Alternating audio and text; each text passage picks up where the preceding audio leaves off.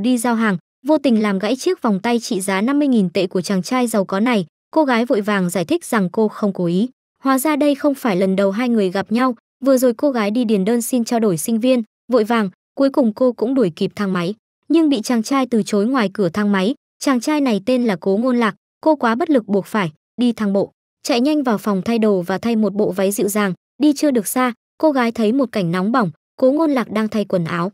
Cô gái nhìn cơ bụng tám múi của anh, bất ngờ che miệng của cô lại, cô sợ cô hét lên, nhanh chóng rời khỏi nơi xấu hổ này, cuối cùng cô gái đã tìm thấy nơi để điền mẫu đơn. Bạn học nói với cô gái rằng cô đã đến muộn, yêu cầu cô gái đến trường quay để nộp đơn, lúc này cô gái vừa đến trường quay. Cô bỗng được nhân viên bên trong đẩy lên sân khấu, yêu cầu cô tương tác với Cố Ngôn Lạc, cô gái quay lại và thấy, đây chẳng phải là Cố Ngôn Lạc vừa rồi sao? Cô gái không thích anh chút nào, trong bài phát biểu của Cố Ngôn Lạc, anh thấy khuy áo cô gái không cài, chỉ muốn nhẹ nhàng nhắc nhở cô ấy, nhưng cô gái đã tát anh tại chỗ, đây là buổi phát sóng trực tiếp, mọi người đang xem đều ngỡ ngàng trước hành động này. Cô gái vừa rời trường quay, lại bất ngờ nhận được một đơn đặt hàng hỏa tốc, cô thay đổi nhanh chóng và vội vàng đi đến. Đó thực sự là oan gia ngõ hẹp, đây không phải là Cố Ngôn Lạc vừa bị đánh sao, anh không nhận ra đó là cô, yêu cầu cô gái tự mở hộp ra để mình kiểm tra. Kết quả là do cô đã lo lắng quá, vô tình làm rơi chiếc vòng tay xuống đất, cô gái vội vàng giải thích rằng cô không cố ý, nhưng Cố Ngôn Lạc đã nhận ra cô, tưởng rằng cô gái là một kẻ theo dõi, cô gái nói rằng đó chỉ là một sự trùng hợp, làm sao cô có thể thích một người như anh. Cố Ngôn Lạc không muốn nói nhiều như vậy với cô gái, yêu cầu cô gái trả tiền chiếc vòng tay, cô gái cũng đồng ý ngay tại chỗ, nhưng khi cô nhìn thấy giá của chiếc vòng là 50.000 tệ, làm thế nào mà cô kiếm được nhiều tiền như vậy khi cô gái phải vừa học vừa làm, cô gái yêu cầu anh có thể cho mình trả góp không? Cố Ngôn Lạc nghe xong rút điện thoại ra để hù dọa cô, nhưng bị cô gái chặn lại, tiếp tục mặc cả với anh, nhưng thái độ của Cố Ngôn Lạc rất kiên quyết, ngay lúc này, mẹ của Cố Ngôn Lạc gọi đến, hôm nay là sinh nhật của mẹ anh ấy, điều ước trong ngày sinh nhật của bà là mong con trai tìm được bạn gái càng sớm càng tốt. Cô gái đã có một ý tưởng sau khi nghe nó, anh ơi, mọi người vẫn đang đợi anh, mẹ nghe thấy giọng con gái bên kia. Bà nghĩ cô ấy là bạn gái của con trai bà, bảo anh đưa bạn gái về ngay, cô gái tình nguyện làm bạn gái giả của anh, miễn là anh đồng ý cho cô trả góp. Và đừng đánh giá một sao cho cô. Cuối cùng, hai người đạt được thỏa thuận, Cố Ngôn Lạc đưa cô gái đi thử váy. Kết quả là mặc hết cái này đến cái khác, anh vẫn không hài lòng, điều này đã chọc giận cô gái, đề nghị tự mình phối đồ theo ý mình. Cô lại ra khỏi phòng thử đồ, Cố Ngôn Lạc nhìn chằm chằm, vì con xấu xí bỗng hóa thiên nga. Cố Ngôn Lạc mang bạn gái thuê 50.000 tệ đi dự tiệc sinh nhật của mẹ anh ấy, mẹ đã rất ngạc nhiên khi nhìn thấy con trai đã có bạn gái từ khi nào vậy. Em gái thấy anh có bạn gái thì vui mừng liền đề nghị để hai người họ nhảy một điệu nhảy mở đầu, mọi người đều cổ vũ. Cô gái đành bất lực, phải miễn cưỡng khiêu vũ với chàng trai, mặc dù hai người đang giả vờ là một cặp, nhưng họ hợp tác quá ăn ý, hoàn thành điệu nhảy thành công, cũng giành được chàng pháo tay của mọi người. Sau một điệu nhảy, Cố Ngôn Lạc giới thiệu với mẹ, cô gái này là bạn gái của anh. Diệp Vị Miên nhanh chóng giới thiệu bản thân, cháu tên là Lộ Giao. Mẹ khá hài lòng về cô con dâu này, bà còn giới thiệu với mọi người đây là con dâu của mình, làm cho nữ trà xanh viễn trình ghen tị, nhìn họ rời đi. Cô ta cũng vội đi theo, cố tình nói trước mặt Diệp Vị Miên, cô ta biết mẹ anh đang thúc đẩy anh tìm bạn gái, nhưng anh không muốn đối phó với mẹ, mà tìm đại như thế được, điều này làm cho Cố Ngôn Lạc tức giận, sau đó anh cố tình làm hành động thân mật với Diệp Vị Miên, giúp cô lau miệng, Viễn Trình thậm chí còn cảm thấy ghen tị hơn khi nhìn thấy nó, cô ta lập tức tìm mẹ của Cố Ngôn Lạc, cho bà xem video Diệp Vị Miên tát con trai bà, lúc này, Viễn Trình lộ ra vẻ tự hào, nhưng mẹ anh không giận chút nào. Bà không thể không tự hào rằng cô ấy có phong thái của bà năm xưa, Viễn Trình tự đập đá vào chân mình, cô ta không có lựa chọn nào khác ngoài việc vội vàng rời đi. Sau đó mẹ chỉ muốn xem con dâu thế nào thôi, không ngờ lại thấy cảnh nóng bỏng mắt, mẹ cảm thấy xấu hổ và rời đi. Sau buổi tiệc này, Cố Ngôn Lạc cũng đồng ý cho Diệp Vị Miên trả góp, kể từ đó, Cố Ngôn Lạc đã trở thành chủ nợ của cô ấy. Diệp Vị Miên phải trả nợ, đồng thời, cô phải kiếm tiền chữa bệnh cho em gái mình, vì em gái Diệp Trầm Hàm vẫn đang bất tỉnh trong bệnh viện. Hôm nay cô đến lớp học thay cho em gái, số phận thật tuyệt vời, Diệp Vị Miên thực sự đã gặp Cố Ngôn Lạc ở đây. Hai người vừa gặp đã lao vào đánh nhau, cô gái đóng giả em gái để đến lớp, nhưng ở đây cô đã gặp chính chủ nợ của mình, cô gái trà xanh cũng đến, cô ta bước vào và ngồi cạnh Cố Ngôn Lạc, giáo viên chính thức vào lớp. Giáo viên yêu cầu các em chia nhóm để học, yêu cầu nhóm hai người để mọi người tự do lựa chọn, kết quả là tất cả các cô gái đều chọn ở cùng nhóm với Cố Ngôn Lạc. Không có gì giáo viên không thể làm, ông đề xuất rằng Cố Ngôn Lạc sẽ được quyền tự do quyết định, Diệp Vị Miên sợ anh ấy sẽ chọn cô và Viễn Trình tràn đầy tự tin. Cố Ngôn Lạc chắc chắn sẽ chọn cô ta, nhưng kết quả nằm ngoài sự mong đợi của cô ta, anh thực sự đã chọn ở cùng nhóm với Diệp Vị Miên. Cố Ngôn Lạc bất ngờ khi giáo viên gọi cô Diệp Trầm Hàm, hôm qua cô đã giới thiệu rõ ràng mình là lộ giao trước mặt mẹ anh. Lúc này cố ngôn lạc tức giận lấy cuốn và mở nó ra. Chắc chắn rồi trong đó tên là diệp trầm hàm. Trình viễn nhìn cố ngôn lạc và diệp vị miên cùng một nhóm cô ta sẽ làm cho mọi thứ khó khăn cho anh hơn. Đến giờ ăn trưa diệp vị miên ăn cùng bạn trai của em gái diệp trầm hàm.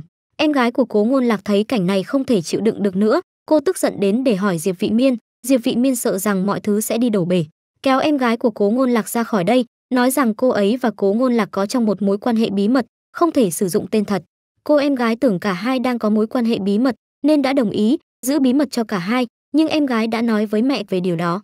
Mẹ càng ngày càng tò mò, lần này con trai bà bị cám dỗ, càng ngày càng thích cô bé này, bà rất tiếc vì đã không làm quen với con dâu tương lai của mình trong bữa tiệc sinh nhật ngày hôm đó.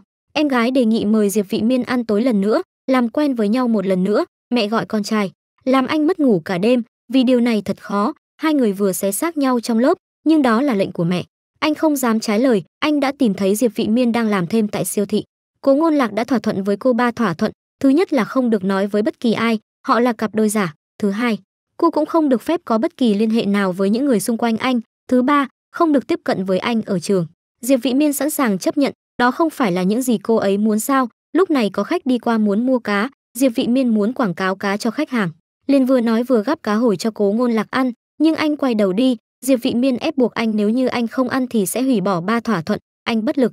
Không còn cách nào khác ngoài việc há miệng và ăn. Bây giờ khách hàng nam bên cạnh anh rất ghen tị, anh ta muốn diệp vị miên đích thân đút cho anh ta nếm thử.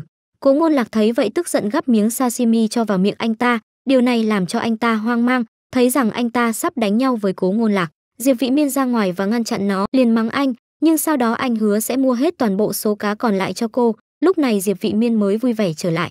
Diệp vị miên để trả hết nợ càng sớm càng tốt, cô lại đi làm ở thư viện. Kết quả là cô đã vô tình làm rơi xuống chân. Cửu nguyệt thấy vậy liền chạy lại quan tâm cô.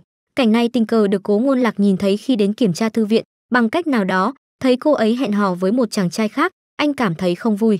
Anh gọi diệp vị miên sang một bên để trả thù cho mình, nói rằng vệ sinh không được sạch sẽ, bị trừ điểm một hồi rồi bảo xếp sách không ngay ngắn diệp vị miên đã cạn kiệt điểm, muốn đá anh bằng chân, may mắn thay, lộ dao đã gọi cô vào lúc này. Diệp vị miên nhân cơ hội này nhanh chóng bỏ chạy, lúc này mẹ của cố ngôn lạc cũng gọi đến, yêu cầu anh đưa diệp vị miên về nhà ăn tối, anh không dám trái lệnh mẹ. Vì vậy, cố ngôn lạc đã tìm diệp vị miên đang phát tờ rơi. Nói cô có thể làm bạn gái giả anh một lần nữa không? Điều kiện có thể được thương lượng. Tất nhiên cô không bao giờ đồng ý, cố ngôn lạc làm sao có thể để cô rời đi. Diệp vị miên vô tình làm sức áo của cố ngôn lạc bằng trái tay, điều này thật rắc rối tiền cho chiếc vòng tay chưa trả hết, giờ cô phải đền cho anh một chiếc áo khác. Hai người đến cửa hàng quần áo, cố ngôn lạc đã thử nhiều quần áo và không hài lòng. Lúc này, nhân viên mang đến một chiếc áo sơ mi cùng kiểu với anh. Nhưng diệp vị miên không thể trả nổi, cô ấy rất đau khổ, không nói gì. Sau đó diệp vị miên này ra một ý tưởng, trong nháy mắt, hai người đã đến chợ đêm. Diệp vị miên lấy được một chiếc áo phông 25 tệ trong quầy hàng trên phố, để anh thử nó, nhưng chắc chắn là anh không đồng ý. Nhưng diệp vị miên cố tình chọc giận cố ngôn lạc. Anh ngay lập tức chấp nhận nó vào trong và thay một chiếc áo phông, diệp vị miên cũng không quên khen anh, sợ rằng anh sẽ nuốt lời, xé mặc trên áo ngay lập tức. Cô cũng nhanh chóng thay áo đôi như anh, cũng giúp cửa hàng bán quần áo, cố ngôn lạc đứng sang một bên và làm người mẫu, và gian hàng ngay lập tức chật kín người. Chưa đầy 10 phút, để hai người họ bán quần áo đã bán hết sạch, ngoại hình thực sự quan trọng, sau đó diệp vị miên tìm một nơi khác để chụp ảnh. Diệp vị miên kéo cố ngôn lạc vào, chưa bao giờ thấy cố ngôn lạc ở nơi này. Lúc đầu, anh vẫn còn một chút ngại ngùng, sau một thời gian anh đã bị diệp vị miên lây nhiễm, cả hai ngày càng chụp nhiều hơn, vui hơn, cố ngôn lạc muốn đưa diệp vị miên về nhà, nhưng đã bị cô từ chối. Diệp vị miên muốn đi xe buýt một mình, nhưng cố ngôn lạc đang lo lắng. Theo sau cô trong chiếc xe hơi sang trọng của anh, về nhà, cố ngôn lạc nhìn vào chiếc áo phông mà anh đã thay, nhìn vào những bức ảnh được chụp bởi hai người, anh chợt thấy vui trong lòng, anh không còn khó chịu nữa. Vào buổi sáng anh thấy diệp vị miên chặn đường cô, nhắc nhở diệp vị miên, đừng quên ăn tối cùng mẹ anh. Nhưng anh không ngờ diệp vị miên lại đột ngột hối hận mong rằng từ nay về sau hai người sẽ đường ai nấy đi. Điều này đã chọc giận cố ngôn lạc, lập tức đề nghị hủy trả góp, và anh sẽ đánh giá một sao. Cuối cùng diệp vị miên sợ đến mức trực tiếp đến nhà của cố ngôn lạc. Cố ngôn lạc đã cho cô hai sự lựa chọn, đầu tiên là chấp nhận bồi thường và chịu mọi trách nhiệm, hoặc ký một thỏa thuận với anh. Giả vờ là bạn gái của anh, đưa nó cho diệp vị miên ký. Diệp vị miên cầm nó lên và nhìn nó. Diệp vị miên sợ rằng cố ngôn lạc sẽ hối hận, ký hợp đồng ngay. Cố ngôn lạc vừa dỗ dành vừa nói dối như thế này. Cuối cùng đã đạt được mục tiêu của anh sau đó diệp vị miên không ngừng phàn nàn với lộ giao về cố ngôn lạc. Lộ giao nghĩ rằng cố ngôn lạc thích diệp vị miên, nhưng diệp vị miên phàn nàn. Làm dâu nhà giàu không dễ, trong khi hai người đang trò chuyện, mẹ cố ngôn lạc gọi mời cô đi ăn tối, cô sợ thân phận bạn gái giả của mình bị bại lộ. Vì vậy, trước khi rời khỏi nhà, cô đã gọi cho cố ngôn lạc, nhưng anh đã không nghe thấy nó khi anh đang ngủ trưa. Diệp vị miên nhanh chóng gửi cho anh vị trí. Sau khi cố ngôn lạc thức dậy và thấy tin nhắn, anh đã vội vàng đi đến, nhưng nhìn thấy phía bên kia đường là diệp vị miên cô đang giúp một họa sĩ già vẽ tranh. Anh không ngờ cô trông ngọt ngào đến vậy, thậm chí có năng khiếu nghệ thuật. Ngay lập tức, tình cảm của anh dành cho diệp vị miên tăng lên một điểm. Lúc này trên bàn ăn mẹ cố rất tốt với diệp vị miên. Cô không chỉ có ngoại hình đẹp, mà còn nhân cách tốt. Sẽ biến cô thành con dâu của nhà họ cố. Bà cũng cảnh báo con trai mình phải đối xử tốt với con dâu và cũng đề nghị hai người kết hôn. Nhưng lúc này hai người đang giả vờ quan hệ không tốt. Cố ngôn lạc nói với mẹ, kết hôn không phải là chuyện nhỏ. Đợi hai người họ bàn bạc trước khi đưa ra quyết định cô gái buộc phải sống trong biệt thự của cố ngôn lạc, trở thành bảo mẫu của anh ấy. Cố ngôn lạc đưa cho cô một chai nước ngay khi cô ngồi xuống. Bây giờ cô chỉ nghĩ đến việc cảm ơn anh, nhưng cố ngôn lạc đưa ra quy tắc quản lý nhà dài cả gang tay, đề nghị cô ghi nhớ và chấp hành. Sau đó diệp vị miên muốn tắm nước nóng và nghỉ ngơi, nhưng không ngờ, vòi nước quá nóng, cố ngôn lạc nghe thấy tiếng khóc của diệp vị miên, liền chạy đến. Quay lưng lại diệp vị miên, từ từ đến gần phòng tắm, giúp cô điều chỉnh nhiệt độ nước. Đây là ngày đầu tiên sống chung, hai người họ đã làm một mớ hỗn độn sau bữa sáng ngày hôm sau, cố ngôn lạc sẽ chơi gôn vào buổi chiều. Vì vậy diệp vị miên đã giúp anh sắp xếp đồ vào túi. Cố ngôn lạc đã đánh xong một trận, tất cả các cô gái đều ở đây. Đưa cho anh một chiếc khăn mới để lau mồ hôi, nhưng anh không lấy. Anh lấy chiếc khăn diệp vị miên chuẩn bị cho mình để lau mồ hôi, là một chiếc khăn hồng. Cố ngôn lạc thấy rằng khăn không chỉ có màu hồng, và còn có hình mèo kitty. Anh vội vàng cất nó đi một cách ngượng ngùng, tức giận đi tìm diệp vị miên đang làm thêm. Lấy ra chiếc khăn mà cô đã chuẩn bị, diệp vị miên đắt ý cười. Hóa ra là hôm qua cố ngôn lạc nhận được hai hộp đồ chuyển phát nhanh. Diệp vị miên mở nó ra, nó đầy mèo kitty màu hồng. Anh tức giận đến mức muốn vứt bỏ tất cả, về nhà và bật máy tính, cũng là màn hình mèo kitty. Trong lòng anh đã rất tức giận khi nghe diệp vị miên và cửu nguyệt nói chuyện điện thoại. Cửu nguyệt hẹn họ sẽ gặp nhau tại bệnh viện lúc 7 giờ, anh càng cảm thấy khó chịu hơn. Anh cố tình tìm lỗi khi ăn, trong một thời gian anh nói thức ăn quá nhạt nhẽo, một lúc sau, lại nói rằng cơm quá cứng, cố ngôn lạc muốn ăn cháo do diệp vị miên nấu. Tất nhiên diệp vị miên sẽ không đồng ý bởi vì cô đã làm nó cho em gái mình, nhưng cố ngôn lạc đã hiểu nhầm rằng không cho anh uống vì cửu nguyệt, để không cho cô gặp cửu nguyệt. Cố ngôn lạc yêu cầu cô đánh bóng tất cả các đôi giày ngay bây giờ. Cơn giận của diệp vị miên bây giờ đã bùng nổ, rõ ràng là cố tình tìm lỗi của cô, nhìn đôi giày trên tay. Cô có ý tưởng, cố tình đánh giày vào tay của cố ngôn lạc, sau đó dùng tay lau sạch, nhưng diệp vị miên không dễ bắt nạt như vậy đâu, khi cố ngôn lạc đang tắm. Cô đến bảo mình sẽ đi chơi, nghe thấy vậy, anh tắt nước nóng, cho dù cố ngôn lạc có hét lên như thế nào diệp vị miên vẫn đi mất. Vào ban đêm, cố ngôn lạc nhìn diệp vị miên đã về và nhanh chóng chui vào phòng ngủ của mình, nhúng nhiệt kế vào nước nóng đã chuẩn bị trước. Khi diệp vị miên vào phòng, đặt nhiệt kế dưới cánh tay của anh. Sau đó đưa nó cho diệp vị miên, diệp vị miên vội vàng lấy thuốc cho anh. Diệp vị miên vội vàng nấu cháo cho anh, đó là một lời nói dối và một sự giả tạo, cuối cùng đã có cháo, nhưng mới uống vài lần. Mũi của cố ngôn lạc đang chảy máu, hóa ra diệp vị miên thấy rằng anh quá yếu, vì vậy cô cho hơn chục loại thuốc bổ vào cháo. Cố ngôn lạc thực sự đáng đời diệp vị miên đi giao đồ ăn, lo lắng, cô thậm chí còn quên lấy mũ bảo hiểm. Cố ngôn lạc đã chặn đường cô sau khi nhìn thấy mũ trên bàn, nói với cô rằng không an toàn nếu không có mũ bảo hiểm, lái xe đưa cô đến đó. Tất nhiên diệp vị miên sẽ không đồng ý, từ chối yêu cầu của anh, nhưng cố ngôn lạc không bao giờ bỏ cuộc, lái xe sang và theo sát diệp vị miên mọi lúc. Sau khi bị cô phát hiện, diệp vị miên muốn tăng tốc và thoát khỏi anh, kết quả là một vụ tai nạn đã xảy ra và một cảnh sát giao thông đã chặn đường cô. Nói rằng không chỉ cô không đội mũ bảo hiểm, mà cũng chạy quá tốc độ cứ như vậy, xe của diệp vị miên đã bị giam giữ. Diệp vị miên cuối cùng cũng lên xe sang của cố ngôn lạc. Anh nghĩ rằng nó sẽ được giao một cách an toàn, nhưng có một tai nạn trên đường. Cố ngôn lạc đột ngột dừng lại, một nửa trà sữa trong tay diệp vị miên đã bị đổ, kết quả là cô bị khách hàng phàn nàn, công việc giao đồ ăn cũng đã bị đuổi. Diệp vị miên đổ lỗi tất cả những điều này cho cố ngôn lạc, để xin lỗi, anh đặc biệt mặc chiếc áo phông mà diệp vị miên đã mua cho anh ấy, và mua một trong những loại bánh bán chạy nhất theo lời giới thiệu của một người bạn, định xin lỗi diệp vị miên anh ấy vừa rời khỏi cửa hàng với chiếc bánh, nhưng nó đã được nhìn thấy bởi viễn trình và những người khác. Cố ngôn lạc chưa bao giờ mặc phong cách này. Khi anh về nhà, cố ngôn lạc cất bánh vào tủ lạnh. Sau đó, anh cố ý yêu cầu diệp vị miên đi đến tủ lạnh để lấy nước cho anh uống. Bất ngờ cho anh ấy, nhưng cô không theo ý muốn của anh. Diệp vị miên đã nhận được một công việc lớn vào thời điểm này, không thể lấy nó và đi làm. Cố ngôn lạc chỉ đợi đến diệp vị miên nghỉ làm, sau đó diệp vị miên mở tủ lạnh để nấu ăn. Và cô phát hiện ra có một chiếc bánh trong đó cố ngôn lạc nói với cô rằng cô không cần nấu ăn tối nay, cả hai đã dùng chiếc bánh này cho bữa tối. Kết quả là, khi anh đến lớp vào ngày hôm sau, cố ngôn lạc phát hiện ra rằng tất cả các cô gái trong trường đều mặc áo phông giống anh. Anh lập tức bối rối. Anh muốn biết chắc chắn những gì đang xảy ra, nhưng anh thấy cô gái anh thích ngồi rất gần với bạn nam cùng lớp. Ngọn lửa ghen cháy ngay lập tức, tiến lại gần cả hai. Bảo cô đi theo anh, sau đó bỏ đi một cách giận dữ. Diệp vị miên cũng vội vàng đi theo. Cố ngôn lạc lấy ra 8 bài toán mà cô đã làm. Nó đã sai hết anh yêu cầu diệp vị miên dừng mọi công việc, về nhà đúng giờ mỗi ngày, để giúp cô làm bài tập về nhà. Diệp vị miên phải làm thêm để kiếm tiền chữa bệnh cho em gái cô, nếu cô quay lại đúng giờ, thì sao có thể được? Cố ngôn lạc đề nghị là lương trả gấp đôi, mấu chốt là anh chàng đẹp trai dạy kèm riêng, tất nhiên diệp vị miên rất vui. Cố ngôn lạc đã dạy kèm cho cô gần 3 đến 4 giờ sáng, kết quả là cô đã trượt đúng một trong các bài kiểm tra, khi cố ngôn lạc ra ngoài để kiểm tra. Lo lắng, cô ngủ thiếp đi trên bàn, khi anh nhìn thấy cô anh đã rất tức giận và nực cười. Cuối cùng, anh phải bế cô lên giường để nghỉ ngơi, nhìn vào khuôn mặt của diệp vị miên, cố ngôn lạc không thể kiểm soát nhịp tim của mình. Diệp vị miên thức dậy vào buổi sáng, nghĩ đến việc tối đi thi, cơ hội vô địch chắc chắn là con số không. Vì vậy, cô yêu cầu lộ giao thảo luận về những việc cần làm, trên đường về, diệp vị miên cứ suy nghĩ, làm thế nào cô có thể không tham gia? Kết quả là cô lơ đãng, suýt đụng phải một bà già đi ngang qua đường, may mắn thay. Bà cụ vẫn bình an vô sự, nhưng cô đã lật ngược và tự làm mình bị thương sau tai nạn này.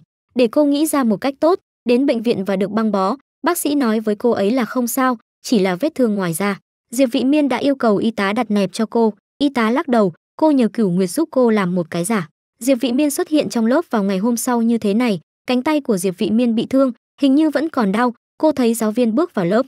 Cô chậm rãi bước lên bục, nói với giáo viên rằng cô bị thương trong một vụ tai nạn xe, cuộc thi chắc chắn sẽ không thể tham gia, nhưng trình viễn luôn ghen tị với cô không đồng ý cô ta nói với giáo viên rằng cuộc thi sẽ sớm bắt đầu. Các biểu ngữ của hội học sinh đã sẵn sàng. Học sinh thay thế tạm thời vẫn chưa tìm được.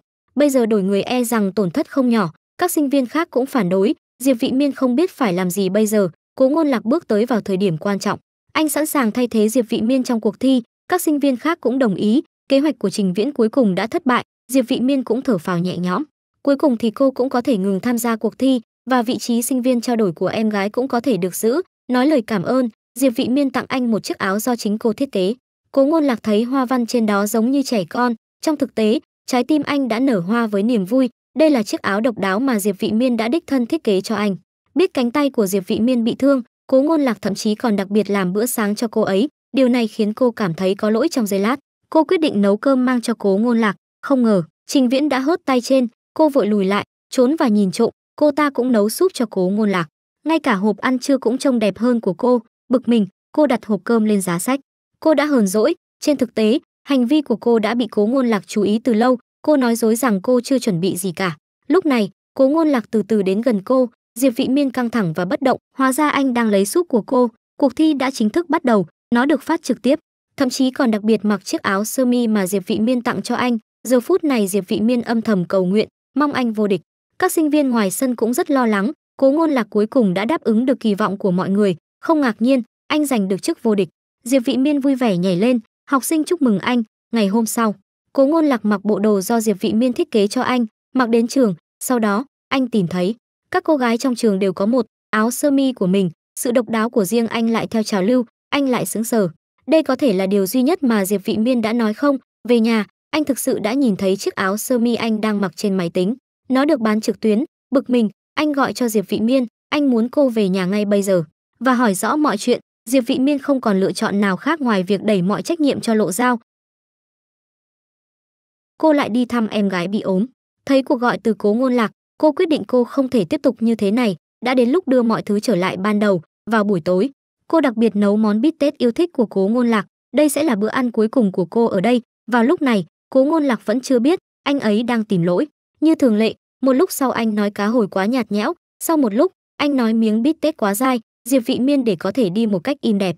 Nói nhiều điều vô tình, cố ngôn lạc không ngờ phản ứng của cô lại mạnh mẽ như vậy, hỏi diệp vị miên có chuyện gì xảy ra. Trên thực tế, vào lúc này, anh cảm thấy khó chịu hơn bất kỳ ai khác, và cố ngôn lạc đứng đầu trong mọi môn học. Anh ấy thực sự coi trọng tất cả những lời nói vô tình của cô. Diệp vị miên đã rời đi, nhìn bóng lưng cô gái ra đi, dù cố ngôn lạc rất đau lòng, nhưng vẫn muốn giữ thể diện. Diệp vị miên nhìn lên bầu trời mưa, nhìn lại cố ngôn lạc một lần nữa, anh thậm chí không có ý định đuổi theo cô diệp vị miên, trái tim cô bây giờ đã lạnh một nửa. Diệp vị miên đã đi không lâu, chỉ sau đó, cố ngôn lạc mới nhớ lấy một chiếc ô và đuổi theo diệp vị miên ra ngoài. Lúc này, diệp vị miên đang ngồi dưới trời mưa to, đau lòng nhìn ảnh chụp chung của hai người lúc trước, nhớ lại khoảng thời gian hạnh phúc của hai người. Không thể không khóc, cố ngôn lạc lo lắng tìm kiếm cô, không tìm thấy cô, cả hai vượt qua nhau một cách hoàn hảo. Ngày hôm sau cố ngôn lạc đến trường. Anh biết được từ người bạn của mình rằng diệp vị miên sống trong nhà của anh và mọi người đều biết về điều đó kết quả là cô trở thành kẻ thù chung của tất cả nữ sinh trong trường. Bây giờ cố ngôn lạc đã biết mọi thứ, không phải là diệp vị miên không có tình cảm với anh, mà là không có lựa chọn nào khác ngoài việc rời xa anh ấy. Bạn anh bảo hãy theo đuổi người con gái anh yêu, sau đó cố ngôn lạc gửi ngay tin nhắn cho diệp vị miên, hẹn gặp cô ở cổng trường sau giờ học, cả hai tự tin chờ đợi câu trả lời. Cuối cùng, anh đợi cho đến tận chiều cũng không thấy trả lời. Lúc này, diệp vị miên đang phát tờ rơi, nó sẽ không mất nhiều thời gian, các tờ rơi đã được lấy. Cô đang hạnh phúc hôm nay rất may mắn, cuối cùng, cô đã nhìn thấy cố ngôn lạc trong chớp mắt, đang tiêu tiền vào tờ rơi của mình. Hóa ra tất cả đều là do anh đứng sau giờ trò. Diệp vị miên rất tức giận, quay lại để rời đi, chỉ tình cờ được nhìn thấy bởi cố ngôn lạc. Chạy lên và tóm lấy diệp, kết quả là cố ngôn lạc, ôm cô ấy, đến bên chiếc xe, đưa cô vào xe. Sau khi lên xe, anh cũng tự tay thắt dây an toàn cho cô. Anh nghe diệp vị miên khen anh ấy đẹp trai, cố ngôn lạc rất vui. Sau đó anh đưa cô đến địa điểm mà anh đã cẩn thận sắp xếp trước và ôm một bó hoa lần đầu thừa nhận hành vi sai trái trước đây của mình, sau đó, anh hy vọng rằng hai người họ sẽ thay đổi quan hệ để bắt đầu lại, không còn quan hệ ông chủ và người giúp việc. Đối xử với cô như một người bạn gái bình thường, cố ngôn lạc đang tỏ tình với diệp vị miên, nhưng bị gián đoạn bởi một cuộc điện thoại đột ngột. Hóa ra tình trạng của em gái cô đã được cải thiện, cứ như vậy cô bỏ lại anh, nhưng không xa, chỉ nhìn thấy bầu trời đầy pháo hoa mà cố ngôn lạc đã chuẩn bị cho cô. Nhìn tấm lưng lạc lõng của cố ngôn lạc, âm thầm trả lời câu hỏi vừa rồi của anh, thì ra cô cũng yêu anh nhưng cuối cùng chọn rời đi, hai người gặp lại nhau ở trường vào ngày hôm sau. Trở thành người lạ, nhìn vào bóng lưng của cố ngôn lạc, diệp vị miên nghĩ rằng anh sẽ không bao giờ có bất kỳ tình cảm nào với cô nữa, thật bất ngờ. Trong tiết thể dục tiếp theo, bởi vì lần trước cố ngôn lạc một mình thách đấu đội bóng rổ, làm nhục họ họ chỉ muốn nhân cơ hội này để đàn áp cố ngôn lạc. Diệp vị miên lúc đầu không muốn chơi, nhưng cô lại bị hai cô gái đẩy lên, nói lời chào với anh ngay khi cô thấy cửu nguyệt. Điều này khiến cố ngôn lạc rất buồn. Cuộc thi chính thức bắt đầu, sau một thời gian thi đấu trình viễn và hai người họ bị đuổi ra ngoài, chỉ còn lại diệp vị miên và cố ngôn lạc trên sân. Đối thủ cũng nhìn ra điểm yếu của cố ngôn lạc, vì vậy, anh ta cố tình ném quả bóng vào diệp vị miên, cố ngôn lạc bị bóng đập vào người để bảo vệ diệp vị miên. Kết quả là cố ngôn lạc bị loại, diệp vị miên là người duy nhất còn lại trên sân bây giờ. Cô nhìn anh, cô muốn làm hết sức mình, làm sao cô có thể không đủ mạnh mẽ? Cô bị bóng của đối thủ đập vào chân và bị bong gân và ngã xuống đất, nhưng cô đã bắt được bóng, trong khi bên kia đang ăn mừng, đánh đối thủ với tất cả sức mạnh của cô cuối cùng đã thắng trò chơi, nhưng trình viễn và những người khác không chỉ không hài lòng, đến để chơi chọc cô, cố ngôn lạc không thể chịu đựng được nữa. Đi qua để quan tâm đến vết thương ở chân diệp vị miên, vẫn cảm thấy có lỗi với cô. Sau đó, trước con mắt của mọi người, anh bế diệp vị miên bị thương lên và rời đi. Hai người đến phòng y tế, phát hiện ra bác sĩ không có ở đó. Cố ngôn lạc đích thân bôi thuốc cho cô. Diệp vị miên xin lỗi, nhưng cố ngôn lạc đột nhiên nắm lấy tay cô. Người nghiêng về phía trước gần diệp vị miên, anh không thể không hôn cô tình yêu đích thực là như thế này. Sau khi cả hai ra khỏi phòng y tế cố ngôn lạc vẫn muốn nhận được câu trả lời, khẳng định, lần này diệp vị miên đã không trốn tránh. Nói trực tiếp, em thích anh. Điều này khiến cố ngôn lạc rất vui, nhưng những gì diệp vị miên nói tiếp theo đã khiến anh rơi xuống vực sâu ngay lập tức. Cô nói rằng họ không hợp nhau cố ngôn lạc lại chọn ra đi. Lộ giao không muốn cô bỏ lỡ tình yêu khó giành được này. Cô quyết định bí mật mai mối hai người họ. Cô dẫn diệp vị miên ra khu vườn, đồng thời, cậu bạn của cố ngôn lạc cũng dẫn cố ngôn lạc đến lộ giao nhìn thấy bóng dáng của cố ngôn lạc, cô thấy một cơ hội đã đến, bảo anh ấy đi chơi cùng nhau, và đã lạc mất diệp vị miên, vết thương ở chân của diệp vị miên vẫn chưa lành, sẽ không có gì xảy ra, cố ngôn lạc bây giờ rất lo lắng. Cố ngôn lạc nhìn quanh trong vườn, định mệnh đã đưa họ đến với nhau, cố ngôn lạc nhìn những bông hoa trên tay và tỏ tình một lần nữa, em có muốn làm bạn gái anh không? Nếu em muốn, thì lấy bó hoa này, không muốn, có thể quay lại và rời đi ngay bây giờ. Một con ong bay từ xa, cô nhanh chóng đuổi ong bằng bó hoa, và vô tình đã lấy bó hoa cố ngôn lạc đã rất vui và kéo cô lại gần. Diệp vị miên chỉ muốn giải thích, nhưng đã bị cố ngôn lạc chặn lại. Lần này cô không chống cự nữa. Hai người cuối cùng cũng ở bên nhau. Lúc này, diệp trầm hàm đã hôn mê nhiều ngày, cũng tỉnh dậy. Tình cờ là hôm nay là lớp học tiếng anh trực tiếp của cô. Diệp vị miên học khoa thời trang, làm thế nào để cô có thể xử lý được? Cô ấy đổ mồ hôi đầm đìa. May mắn thay, em gái cô đã gửi cho cô ấy một tin nhắn. Cô mượn thời gian trong nhà vệ sinh để gặp em gái. Cả hai nhanh chóng chuyển giao vai trò. Diệp vị miên liền trốn khỏi đây trên sân khấu một lần nữa. Diệp trầm hàm thật nói tiếng anh lưu loát, cố ngôn lạc bất ngờ về cô, làm thế nào để trở thành một người hoàn toàn khác, sau khi cả hai ra khỏi phòng phát sóng trực tiếp. Cố ngôn lạc hỏi cô tại sao không sử dụng bài phát biểu mà anh đã chuẩn bị cho cô. Diệp trầm hàm do dự, phải nói là hồi hộp quên lời, để cố ngôn lạc không nhận ra. Diệp trầm hàm đưa cố ngôn lạc đến siêu thị lớn và gửi tin nhắn cho diệp vị miên, cô muốn trao đổi càng sớm càng tốt. Vì vậy, trong khi cố ngôn lạc không chú ý trong giây lát, diệp trầm hàm lẻn qua, hoán đổi với diệp vị miên họ cuối cùng cũng hoán đổi thành công. May mắn thay, cố ngôn lạc đã không phát hiện ra, đó không phải là một lựa chọn cho cả hai mãi được. Cố ngôn lạc phải biết được sự thật này, nhưng diệp vị miên có thể làm gì để anh không nổi giận? Vì vậy, diệp vị miên đã trang trí ngôi nhà thật đẹp, sau đó thiết kế cho mình một kiểu tóc riêng, làm cho cố ngôn lạc hạnh phúc, nói cho anh biết sự thật, chắc chắn rồi, chiêu này rất hữu ích, cố ngôn lạc cảm thấy nóng khắp người. Nhịp tim đạp nhanh, thấy thời cơ đã chín mùi diệp vị miên chuẩn bị lên tiếng, nhưng bất ngờ mẹ cố đột nhiên xuất hiện làm gián đoạn mọi thứ mà diệp vị miên đã lên kế hoạch cẩn thận. Bà thấy cả hai phát triển nhanh chóng, lấy trong túi ra một bộ đồ ngủ đưa cho con dâu tương lai và thúc giục cả hai đính hôn càng sớm càng tốt. Bà vội bế cháu gái, lời của mẹ. Thực sự xua đuổi cô gái vừa mới yêu, tan học cố ngôn lạc và diệp trầm hàm cùng ra. Anh hỏi hôm qua cô định nói gì anh? Diệp trầm hàm chỉ nói là anh sẽ biết vào tối nay. Nhưng suy cho cùng cô ấy không phải là diệp vị miên, sợ hãi lùi lại. May mắn thay, cửu nguyệt đã xuất hiện kịp thời, yêu cầu cô đi đến thư viện cố ngôn lạc lại lên cơn nghen, khi anh ấy trả lại cuốn sách, anh vô tình nhìn thấy diệp trầm hàm và cửu nguyệt rất thân thiết với nhau, tức giận hơn, chỉ muốn đi đến đó. Nhưng anh đã nhận được một cuộc gọi từ diệp vị miên, về nhà tối nay để nói với anh một bí mật lớn, thật bí ẩn. Nhưng giây tiếp theo, anh phát hiện diệp trầm hàm vẫn chưa gọi. Bây giờ anh đã biết tất cả, ngay lập tức tim diệp trầm hàm, cô thấy có gì đó không ổn, bây giờ cô chỉ muốn gọi cho diệp vị miên. Nhưng cố ngôn lạc đã giật điện thoại, bởi vì anh biết rằng diệp trầm hàm muốn báo tin và diệp vị miên đã chuẩn bị quà, tự tin để nói sự thật tối nay khi cô vui vẻ đến gặp cố ngôn lạc. Nhưng ở đây cô thấy em gái của cô ở đây. Bằng cách này, sự ngạc nhiên diệp vị miên biến thành một nỗi sợ hãi. Cô không biết làm thế nào để trả lời trong một thời gian. Trong giây tiếp theo, cô giơ tấm biển xin lỗi và xin lỗi cố ngôn lạc, tên là diệp vị miên, danh tính, sinh viên năm ba khoa thiết kế thời trang. Trường cao đẳng nghệ thuật, cố ngôn lạc hỏi tại sao cô làm điều này. Cô đã nói với cố ngôn lạc nguyên nhân đó là một vài tháng trước. Em gái cô bị tai nạn xe, bất tỉnh để giữ chỗ cho em gái với tư cách là một sinh viên trao đổi, không có cách nào, cô đã mạo danh thành em gái, nhưng cố ngôn lạc vẫn rất tức giận. Họ đã ở bên nhau rất lâu, và anh ấy thậm chí còn không biết bạn gái của mình là ai trong cơn tức giận. Anh muốn phá bỏ tấm biển xin lỗi của cô, nhưng anh vô tình làm xước ngón tay của mình. Diệp vị miên vẫn không ngừng xin lỗi, hy vọng anh có thể tha thứ. Diệp vị miên đặt tấm biển xuống và rời đi, bây giờ anh thậm chí còn tức giận hơn. Tình yêu giữa hai người mong manh đến vậy sao? Anh mở món quà xin lỗi của diệp vị miên đó là một chiếc áo phông khác. Khi anh sắp vứt bỏ món quà, thấy diệp vị miên đã trở lại. Hóa ra là để mua thuốc cho anh và tự mình băng bó vết thương. Lúc này, cơn giận trong lòng cố ngôn lạc đã tiêu tan và anh nói xem biểu hiện của cô. Có thể chấp nhận lời xin lỗi, diệp vị miên nướng bánh quy đặc biệt cho anh. Xin cố ngôn lạc tha thứ một lần nữa, bây giờ cố ngôn lạc không thể kìm nén được nữa. Và nói rằng tha thứ cho cô, nhưng cô phải hứa với anh một vài điều kiện, không nói dối anh trong bất kỳ trường hợp nào. Điện thoại và tin nhắn sẽ được trả lời ngay lập tức và một món quà cho anh, không đưa cho người khác. Và diệp vị miên đã đồng ý. Tất cả các chứng ngại vật đều rõ ràng. Lần này cả hai thực sự ở bên nhau.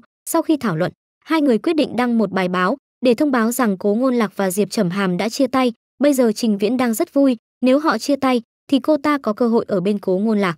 Hôm nay, diệp vị miên phát tờ rơi như thường lệ. Cô bị người lạ trói vào xe. Cảnh tượng này tình cờ bị lộ Dao đến tìm cô nhìn thấy. Cô vội vàng gọi điện cho cố ngôn lạc.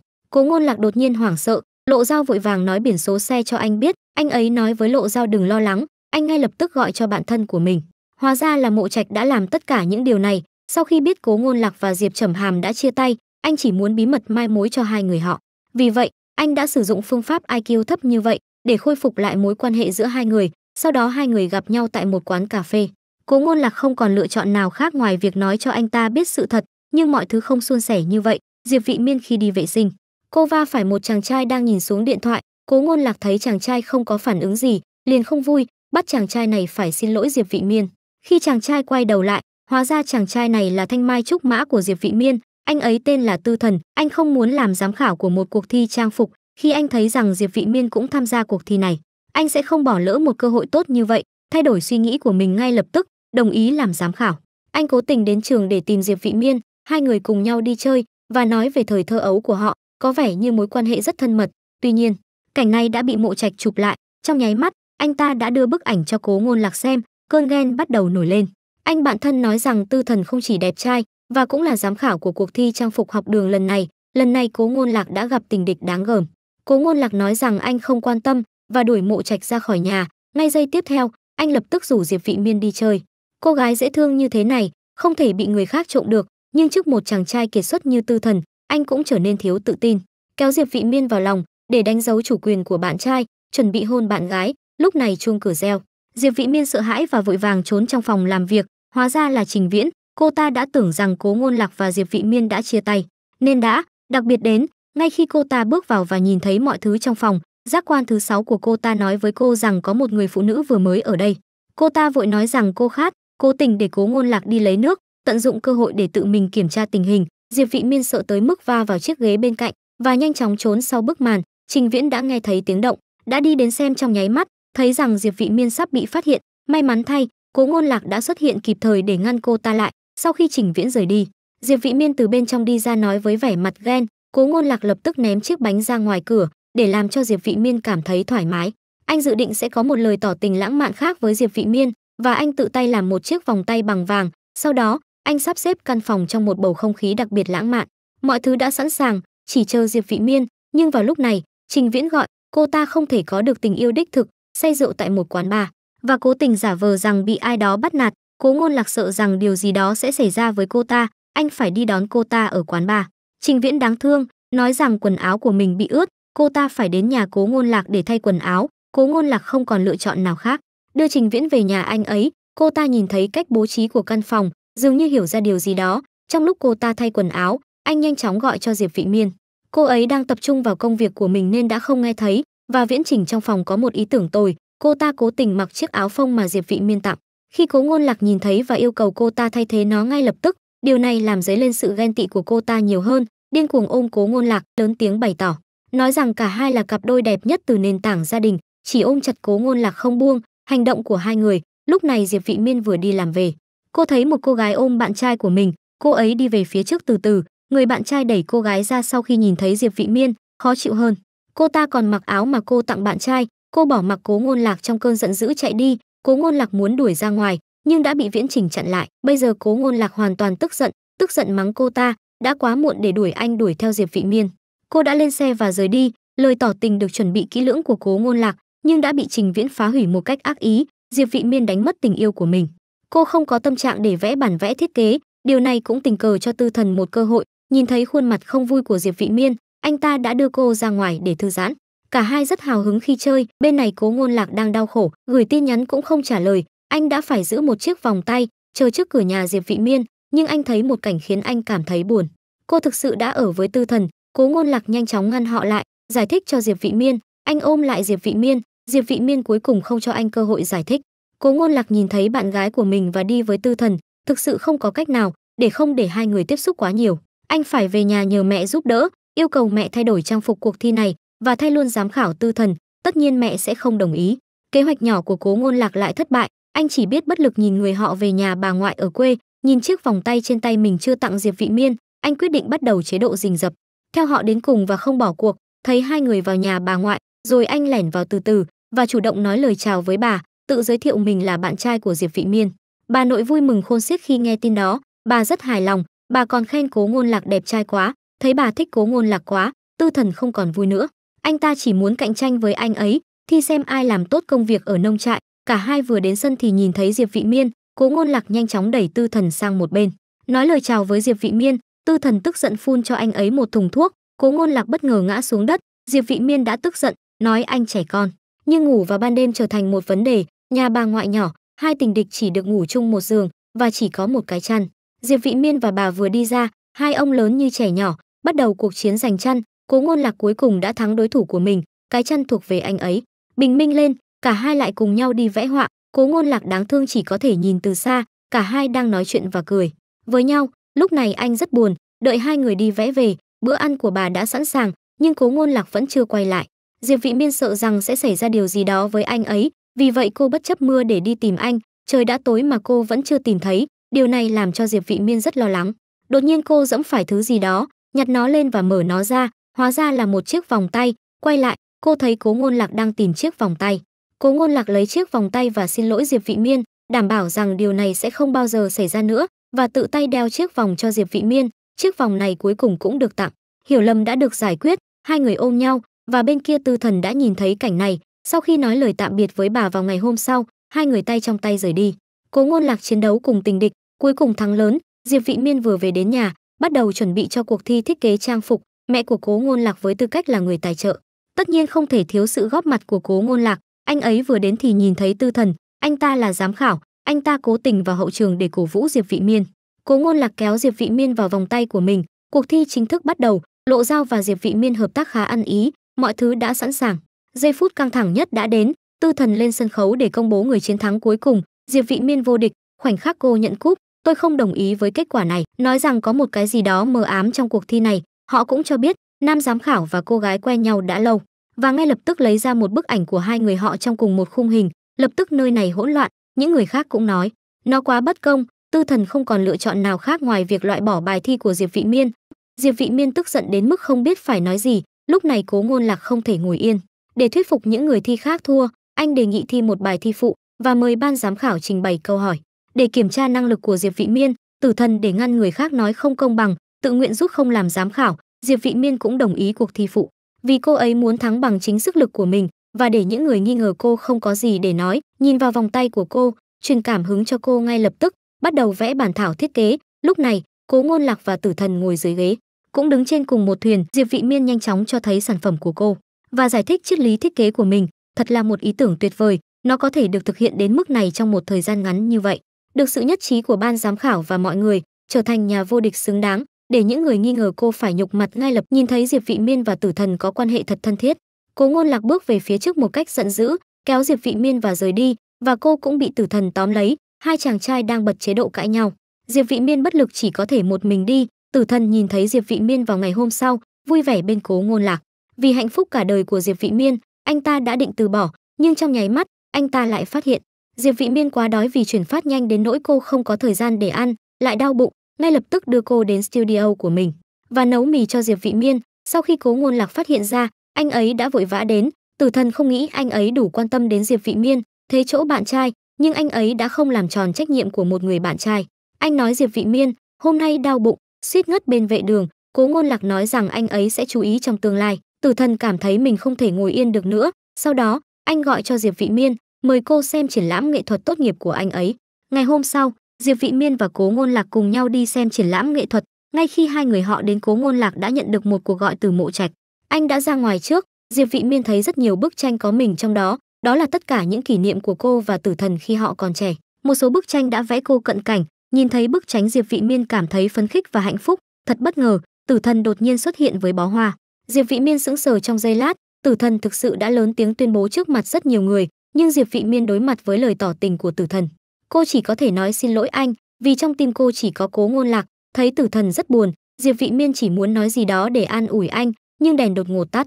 Cố ngôn lạc xuất hiện đúng lúc, kéo cô đi trước khi đèn bật sáng, bị bỏ lại tử thần với khuôn mặt thất thần, nhìn ảnh diệp vị miên, đã đến lúc từ bỏ. Lúc này, diệp vị miên liên tục xin lỗi cố ngôn lạc, cô luôn coi tử thần như anh trai của mình chưa bao giờ nghĩ rằng tử thần sẽ tận dụng triển lãm nghệ thuật để tỏ tình với cô. Thực ra được thích cũng là một loại may mắn. Làm sao cố ngôn lạc có thể tức giận về vấn đề này? Cả hai cùng nhau đi làm gốm, đi cưỡi ngựa cùng nhau. Diệp vị miên không trốn nữa, cô cũng chủ động hôn cố ngôn lạc. Hai người hôn nhau say đắm trên lưng ngựa. Điều này là quá ngọt ngào, nhưng khoảnh khắc hạnh phúc bao giờ cũng ngắn ngủi. Một giây sau, hai chị em xuất hiện trong phòng hiệu trưởng. Hóa ra cô bạn kia đã gửi ảnh chụp cho hiệu trưởng. Bí mật của hai chị em vẫn bị phát hiện cả hai đang tranh giành để thừa nhận sai lầm của mình với hiệu trưởng. Cả hai đều đồng ý. Khi biết tin, cố ngôn lạc đã đến ngay lập tức. Điều này thật phi lý. Hiệu trưởng đã đổ hết lỗi lên đầu cố ngôn lạc. Diệp vị miên đang đứng ngoài cửa. Cô đã lắng nghe tất cả. Cố ngôn lạc bị hiệu trưởng phạt. Tất cả đều liên quan đến diệp vị miên. Cô không thể tiếp tục như thế này. Vì vậy, cô đã đưa ra một quyết định lớn. Diệp vị miên thấy cố ngôn lạc đi ra khỏi đó. Cô muốn hai người xa nhau một thời gian. Để bình tĩnh lại, cố ngôn lạc tóm lấy cô.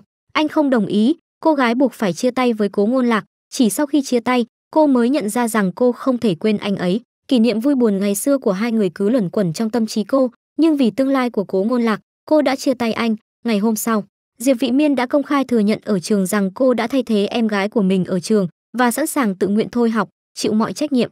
Cô hy vọng nhà trường có thể khoan dung, cho diệp trầm hàm và cố ngôn lạc về nhà, gói ghém hành lý và chuẩn bị ra đi, thấy cuộc gọi từ cố ngôn lạc. Cô cúp máy không do dự vẫn chưa tới thời gian để rời đi cố ngôn lạc biết rằng cô đã bỏ học đã đến gặp cô không nói gì và để anh ấy đi ngày hôm sau diệp vị miên kéo hành lý của cô và rời đi nhưng đã bị chặn lại bởi lộ dao và mộ trạch làm sao họ có thể đứng nhìn một đôi yêu nhau thật lòng chia lìa cuối cùng dưới sự sắp xếp cẩn thận của cố ngôn lạc dư luận đang hoàn toàn ủng hộ diệp vị miên lãnh đạo nhà trường quyết định rằng sinh viên trao đổi của Diệp Trầm Hàm có thể tiếp tục được bảo lưu. Diệp Vị Miên không phải bỏ học nữa, Diệp Vị Miên khi nghe tin, ngay lập tức tìm đến biệt thự của Cố Ngôn Lạc, cô đến trường một lần nữa để tìm Cố Ngôn Lạc, nhưng anh thậm chí sẽ không nói một lời. Diệp Vị Miên ôm anh từ phía sau, xin lỗi và cảm ơn vì sự giúp đỡ của anh ấy, nhưng anh đã tàn nhẫn mở tay, Diệp Vị Miên chỉ có thể nhìn anh rời đi. Nhưng cô sẽ không từ bỏ dễ dàng như vậy, thế là anh đến thư viện nơi cả hai đã có rất nhiều kỷ niệm, đưa súp gà cô tự làm cho anh. Nhưng trong chớp mắt, anh đã biến mất, Diệp Vị Miên và Cố Ngôn Lạc đang chơi trò trốn tìm, cô tìm anh xung quanh như không thấy, nhưng bên này anh đã lấy đi món súp mà Diệp Vị Miên làm cho anh. Lần này nó kết thúc trong thất bại, sự thất bại nhỏ này không là gì đối với cô, Diệp Vị Miên đã cùng em gái mình dẫn Cố Ngôn Lạc đến nơi hai người bắt đầu. Xem bức tranh này, để Cố Ngôn Lạc nghĩ về nụ hôn tình cờ đầu tiên của họ, nơi này chứa đầy kỷ niệm của hai người họ, Diệp Vị Miên cũng bày tỏ tình yêu của mình. Sau bao nhiêu thử thách, Cố Ngôn Lạc cũng nhìn thấy sự kiên trì của Diệp Vị Miên, cô sẽ trân trọng tình yêu khó giành được trong tương lai, Cố Ngôn Lạc không còn làm khó cô nữa. Cả hai cuối cùng cũng ở bên nhau ngọt ngào, hôn nhau say đắm. Vậy là bộ phim đến đây là hết rồi. Hẹn các bạn ở các bộ phim tiếp theo. Bấm theo